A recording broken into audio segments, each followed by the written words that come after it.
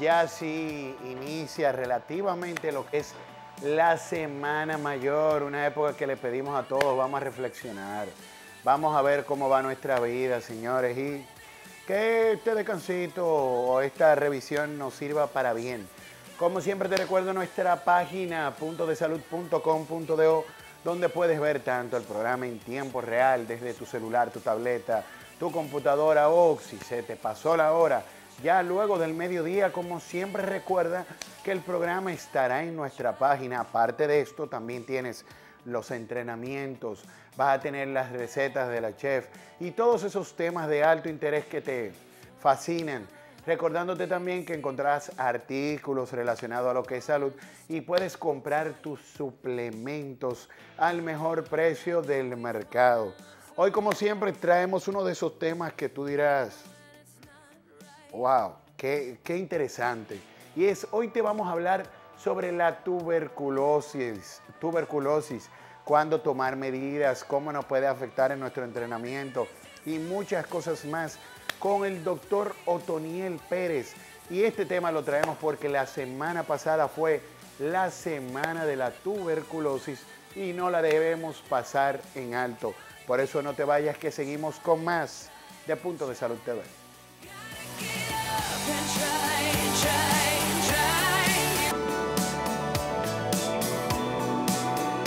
Bueno, señores, estamos de vuelta y no puedo dejar de recordarte, y más ahora que viene Semana Santa, el alcoholado glacial.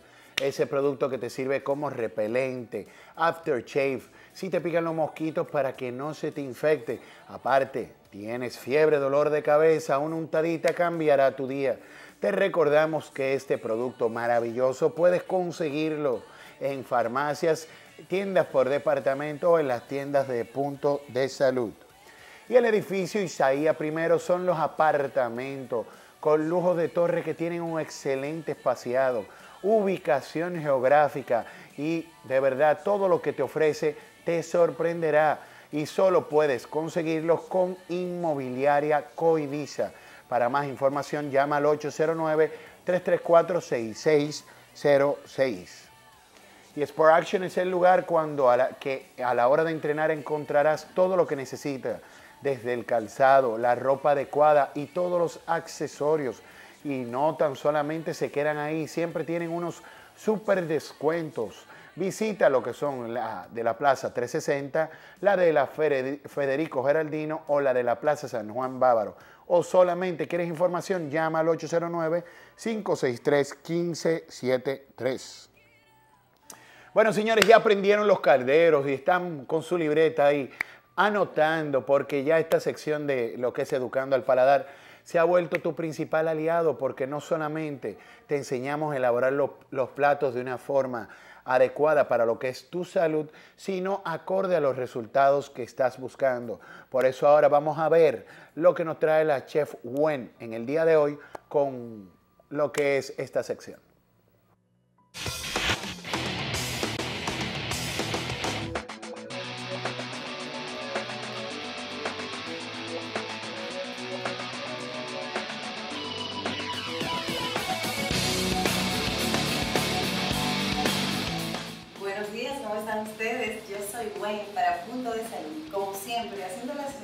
Más deliciosas y saludables para todos ustedes que están ahí chequeando, ¿no? Chequeando para siempre mantenerse con una buena salud. Y hoy estamos contentísimos porque vamos a hacer una ensaladita bien fresca. Además de que le estamos dando la bienvenida a la primavera, que ya hace unos cuantos días empezó, pero en este programa queremos darle la bienvenida a la primavera y con ello pues vamos a hacer una ensalada súper refrescante. Entonces vamos a iniciar con una ensaladita fría de salmón. Para lo que nosotros tenemos aquí, ya nuestro salmón. Y si ustedes observan aquí, yo lo tengo inclusive con todas sus espinitas, porque esas espinitas, eso es puro calcio. Eso es buenísimo. ¿no? Entonces, ustedes normalmente cuando hacen una ensalada se le echa mayonesa y todo eso.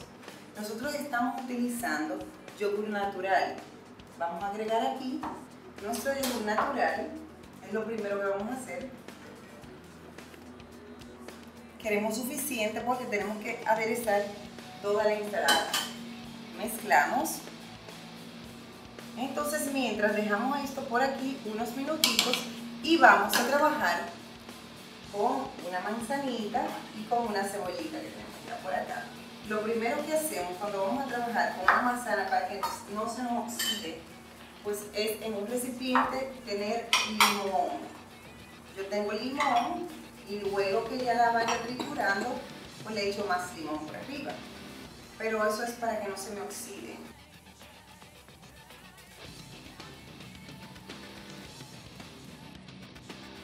Vamos a picar bien pequeñitas nuestras manzanitas. Y vamos a agregarle el limón, como les conté.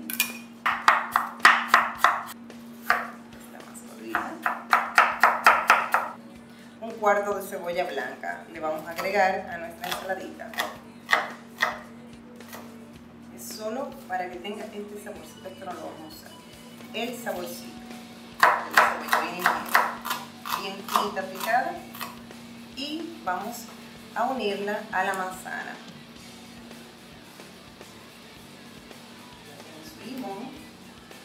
A agregarle también un poquito de sal. Si usted desea, puede agregar también un poco de pimienta. Yo no quiero agregar mucha pimienta porque quiero que quede bien fresca la ensaladita, ya con el sabor del limón, el saborcito del yogur. No, no quiero hacer muchas mezclas. Vamos acá.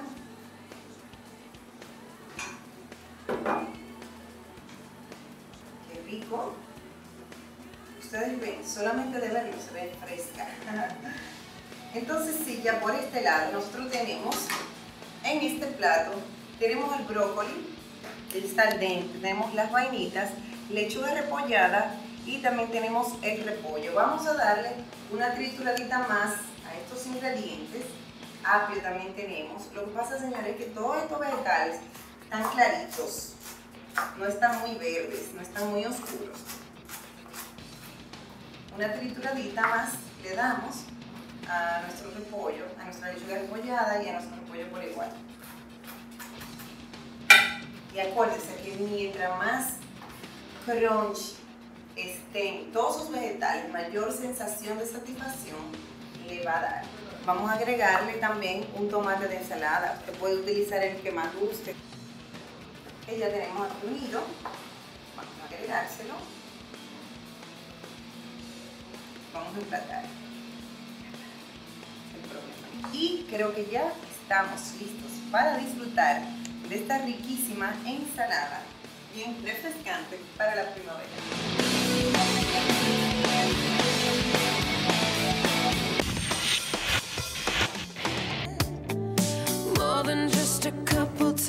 Bueno, señores, y tengo que recordarte lo que es la gel número uno del mercado y es Stream Gel con un sinnúmero de gelatinas acorde a tu estilo de peinado. Ejemplo, el X-Pond, si quieres un peinado, te hablaré dependiendo la fijación que quieres, es la que debes adquirir. X-Pond, la de mayor fijación. La Dark es la que le continúa. Extra firme, profesional. Ya después la de niños. Control Curls, es decir, si quieres que tu pelo se vea rizo. Y ya la Light para tener un peinado que se vea natural. Stream Gel no es solamente una, la, gel, número uno del mercado, sino que eh, sigue creciendo su línea de productos que tiene ya champú, acondicionador y otros productos para que cada día tu pelo luzca sumamente hermoso y natural. Ya recordándote lo que es la certificación internacional de la NCSF, que tiene un contenido entre referencia de anatomía básica, anatomía y biomecánica, fisiología del ejercicio, nutrición, control de peso, actitud física y la salud, evaluación de condiciones preexistentes, conceptos del entrenamiento, prescripción y programación del ejercicio y clientes con características especiales. Ya este año decidiste mejorar tus ingresos como entrenador. La mejor forma es con los conocimientos y aparte estar certificado por una de las instituciones más grandes del mundo. Te recordamos también que es completamente en español y no tan solamente puede ser tomada por un entrenador, sino por un cliente que quiera subir su entrenamiento al siguiente nivel. Ya vamos a hablarte de lo que es el punto verde del día de hoy. Apague el motor si estás parado o esperando más de un minuto. La combustión de la gasolina contiene grandes cantidades de residuos como el plomo, bencenio y otras sustancias que no solo provocan gran daño al ecosistema, sino también son una de las principales, principales fuentes que afectan fuertemente la actividad cerebral. Bueno, y ya vamos a iniciar con lo que es el tema del día de hoy. Y tenemos aquí de vuelta lo que es el doctor Otoniel Pérez. Y ya vamos a abundar sobre un tema que quizás se ha oído con mucha frecuencia y es la tuberculosis. ¿Cómo está, doctor? Bien, bien. Muchas gracias por la invitación de nuevo a su programa y que he podido comprobar que sí, que realmente es un programa de mucha audiencia. Gracias, gracias. Doctor, para las personas que nos están mirando, ¿qué es la tuberculosis y cómo se adquiere esta? La tuberculosis es una enfermedad producida por una bacteria que se llama el bacilo de la tuberculosis o bacilo de Koch, el cual se transmite fácilmente de una persona a otra. Doctor, pero vemos que como por tradición, antes se hablaba de la tuberculosis como que en otra época, como que era lo último. Todavía, ¿qué, tan, qué nos podría afectar el nosotros adquirir tuberculosis y de qué forma se podría, eh, eh, podríamos contagiarlo? ¿Es fácil de contagiarse? Realmente en nuestro país la tuberculosis tiene una alta incidencia, o sea, hay un gran número de personas afectadas de tuberculosis. Y el requisito para una persona sufrir de tuberculosis es simplemente estar en contacto con otras personas que tengan la enfermedad, sobre todo la tuberculosis pulmonar, que es la de mayor, eh, la de más fácil transmisión, la tuberculosis pulmonar. Simplemente con estar en contacto con una persona afectada de tuberculosis pulmonar, ya nosotros corremos el riesgo de infectarnos, o sea, de recibir el vacilo capaz de producir la enfermedad. Ahora bien, tan pronto nosotros hemos recibido el vacilo, ya hay algunas condiciones propias del individuo que son las que permiten que se desarrolle o no la enfermedad. Y ya doctor, con lo que viene siendo esto, digamos, la que es pulmonar, me imagino que si alguien nos tose, porque ya relacionándolo a lo que viene siendo nuestra área, vamos a decir cuidado y deporte, en un gimnasio, puede ser con una persona en, tosa y, agarra una mancuerna, o jugando un basquetbol que una gente no, no tosa al lado. ¿Se podría, ¿Uno se podría contagiar así? Mira, los gimnasios tienen una característica que son lugares cerrados. Sí. En la mayoría, aun, aunque esté contraindicado esas condiciones, la mayoría de nuestros gimnasios tienen poca ventilación. Sí. Entonces, esas son condiciones idóneas para mantenerse el vacilo vivo. El vacilo vivo en condiciones idóneas, o sea, donde no hay buena ventilación, donde no entra mucho la luz del sol, puede permanecer vivo durante semanas o meses. Entonces, cuando una persona, no solamente cuando tose, hasta cuando respira, cuando transpira a través de la vía respiratoria, pueden salir los vacilos de tuberculosis y en algunos casos hasta quedarse suspendido en el aire. Entonces, cuando nosotros inhalamos eso, entonces estamos introduciendo a nuestro organismo el vacilo de la tuberculosis. Doctor, pero por un lado, antes de continuar, yo, y esto hay que recalcarlo, porque veo que usted nos ha traído mucho material y veo que está siendo apoyado por el Ministerio de Salud, que en muchas ocasiones decimos que no se ve lo que se hace, pero vemos que hay mucho material informativo como para nutrir a las personas. ¿Dónde las personas pueden conseguir esta información? En todo, mira, el Ministerio de Salud es el principal eh, responsable, por así decirlo, porque por ley eh, está constituido, es la persona número uno que lleva la prevención de la tuberculosis. Más del 80% de los gastos que se incurren en prevenir, tratar y darle seguimiento a los casos de tuberculosis es en base del ministerio. De hecho, yo trabajo en el Ministerio de Salud en el programa em, de control de la tuberculosis, Programa Nacional para el Control de la Tuberculosis, y estamos abocados precisamente a concientizar a toda la población en la necesidad de prevenir la tuberculosis. Y es por esto que el ministerio ha hecho una gran inversión en cuanto a lo que son medios, tanto audiovisuales, escritos e impresos, para que las personas se puedan eh, conocer cuáles son los mecanismos más importantes para la prevención de la tuberculosis. ¿Y cuáles son los síntomas, doctor? Es decir, porque aquí veo que, que nos dice una reseña tos, catarro por más de 15 días, chequéate que puede ser tuberculosis. Eso es ¿Cuá- cierto. Esos son los principales síntomas. Ese es el principal, los principales síntomas para identificar una persona con tuberculosis es la tos con catarro. Normalmente por un la- periodo extenso. 15 días, porque se pone 15 días porque nos va a permitir eh, separar de algunos procesos virales que tienen como tiempo de duración unos 15 días. sí. Ya los 15 días están desapareciendo. Entonces ya cualquier tos con catarro que dure más de 15 días, una persona debe chequearse, debe ir al establecimiento de salud para descartar si es o no es tuberculosis. Ahí le van a hacer un análisis, el cual es totalmente gratis, está cubierto por el Ministerio de Salud. O sea, a la persona ¿Dónde puede asistir? en cualquier establecimiento de salud, de salud pública, Ok. le van a hacer lo que se llama la vaciloscopía, que para la persona que va a demandar el servicio es totalmente gratis. El ministerio absorbe, el costo de este, de este estudio.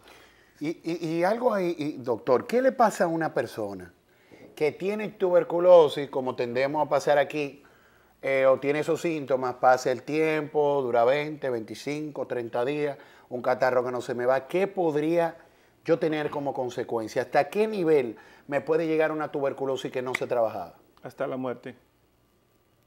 Guay. Si una tuberculosis no se trata, tú me preguntaste hasta qué Sí, nivel. Claro, Esto es toma es bueno que se sepa. Esto toma un tiempo y eso es lo que queremos evitar. Ahí es donde no queremos llegar. Porque una persona cuando llega a morir por tuberculosis tiene la capacidad de infectar a otros hasta entre 10 y 30 personas por año puede infectar a una persona que esté enferma de tuberculosis pulmonar. Entonces, ¿qué, qué va a ocurrir?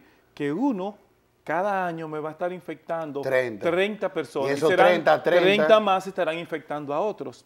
Es por esto que estamos abocados a crear la conciencia en la población de que donde quiera que nosotros veamos a alguien tosiendo, nos acerquemos a ello con cierta delicadeza, con cierto cuidado, respetando su, su derecho como ser humano y orientarlo de la importancia de que si tiene tos con catarro por más de 15 días, debe chequearse, debe ir a un establecimiento de salud para hacerle la prueba. Y yo considero también que nosotros tenemos que ser prudentes, porque yo he visto personas que a veces tú estás al lado de alguien y te tosen arriba, te estornudan arriba, habiendo formas de taparse la boca o taparse de diferentes formas para que si tú tienes algún tipo de enfermedad no contagiar a otro.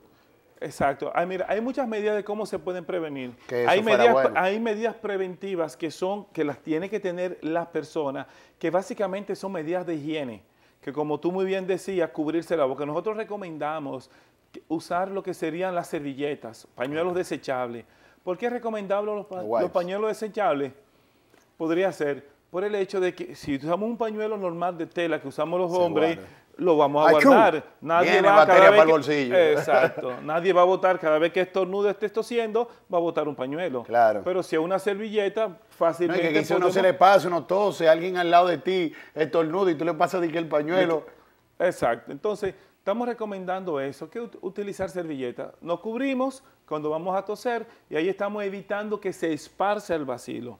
Pero también las demás personas también tenemos que tomar medidas preventivas y eso es garantizar la buena ventilación en los lugares, pues, como tú mencionabas en el caso de los De- de gimnasios, entrenamiento. en, en- en el área de entrenamiento que esté bien ventilada, que entre la luz del sol, eso nos va a ayudar, porque la tuberculosis afecta um, los pulmones y va a disminuir, en el caso por ejemplo del deportista, como tú estuviste diciendo, va a disminuir su capacidad ventilatoria.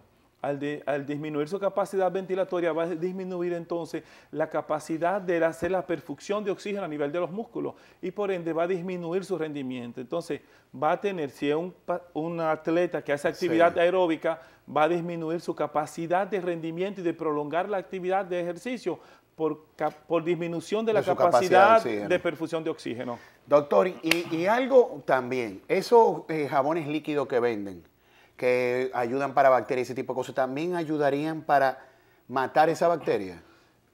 Es decir, que yo vengo, pongo la mano y si yo soy la persona que tiende a usar de ese tipo de jabones líquidos, de las múltiples marcas que hay en el mercado, esto ayudaría, me, me, me restaría, es decir, en el momento que yo quizá tope algo y después tornude y yo mismo me ponga la mano y me, pe- me pegue la bacteria. Mira, una característica que tiene, eso puede ayudar a eliminar la bacteria que esté fija en, en un, en un objeto, en las manos. Sí. Pero una característica que tiene la tuberculosis es que se dispersa como aerosol, o sea, en el aire. Entonces, cuando yo, yo toso, si yo tengo la tuberculosis, esas, esas partículas, las más pequeñitas, las que no se ven, a mí me gusta poner un ejemplo. Cuando nosotros estamos en una habitación oscura, que, entramos, que vemos que entra un rayo de luz, vemos múltiples partículas flotando en el aire. Solamente en esa condición la vemos. Entonces, básicamente, ese tipo de partículas que se mantienen suspendidas en el aire son las que entran al pulmón y cuando se fijan en el pulmón, entonces pueden producir la enfermedad. O sea que, aunque esté fija, no van a, la transmisión no es tan importante como la que cuando se mantiene en el aerosol en el aire. ¿Y hay alguna edad en específica donde sería más eh, fuerte eh, nosotros tener una tuberculosis, me imagino con un niño en un, como decimos aquí, en juventud acumulada, eh, ¿hay una etapa que, que sea más común y lugares específicos? Bueno, la población que está más afectada es la población entre 15 de 15 a 50 años. Pero hay una, esta población tiene una característica, es la que está en contacto con los demás. Es la que sale a trabajar, la población como económicamente activa, la que va a los gimnasios, la que se monta en los autobús, la que se monta en los diferentes medios de transporte público o privado, la que, la que lleva una vida social. Y por ende es la más afectada. Es la población que más casos de tuberculosis tenemos pero también los niños tienen una característica muy especial y es que su sistema inmunológico, que es el que nos protege de evitar, porque todos en algún momento estamos expuestos al vacilo o ya hemos estado expuestos al vacilo, pero nuestro sistema inmunológico es el que nos protege de evitar que la enfermedad se desarrolle. Entonces, los niños tienen la característica de que el sistema inmunológico no está bien desarrollado en ellos. Entonces, si en su entorno hay una persona afectada de tuberculosis, un adulto afectado de tuberculosis, entonces le va a transmitir la enfermedad a ese niño. Pero en el otro extremo de la edad tenemos los envejecientes que también ya su sistema inmunológico está decayendo, está entrando en depresión, entonces también tienden a ser susceptibles de sufrir la enfermedad. Doctor, si una persona que, que ya se le encuentra, se le diagnostica tuberculosis y se empieza a tratar, ¿qué tiempo promedio dura para uno ya que se le, que, se le vaya? No sé si quizá esa bacteria se le queda uno dentro, pues yo sé que hay algunos tipos de bacterias en nuestro cuerpo que nunca mueren. En el caso de la tuberculosis, sí muere. Sí, en seis meses de tratamiento la persona se cura de tuberculosis, completamente curado. Y si lleva bien su tratamiento, ya de 15 días a un mes de tratamiento, la persona no infecta a los demás pero el tratamiento debe durar los seis meses para garantizar la eliminación de la bacteria.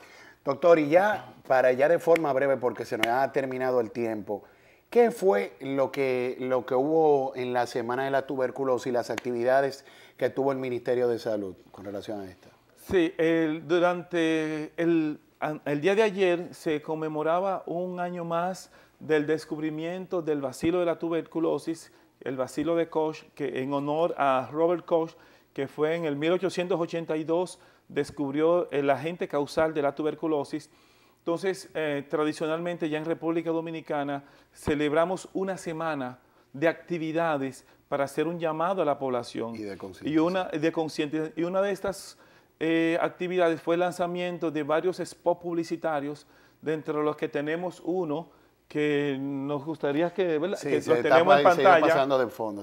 Exacto, que es que el, señor Raymond Pozo puso su imagen para hacer este llamado a la población. No sé si podríamos... Eh, sí, se va a ir pasando de, fondo. Mientras tanto, vamos a ver lo que viene siendo el, el tips del día de hoy y ya con calma, ahí podemos ir viendo un poquito en pantalla de lo que fue el spot y vamos a ver si en el día de mañana también lo vamos a tirar. Es más, en esta semana, entre hoy y mañana, vamos a decir, nos lo permite el material, lo vamos a pasar eh, por aquí. Mientras tanto, vamos a ver el tips nutricional que tenemos por ahí del día de hoy para ya terminar de ampliar sobre lo que fue este tema.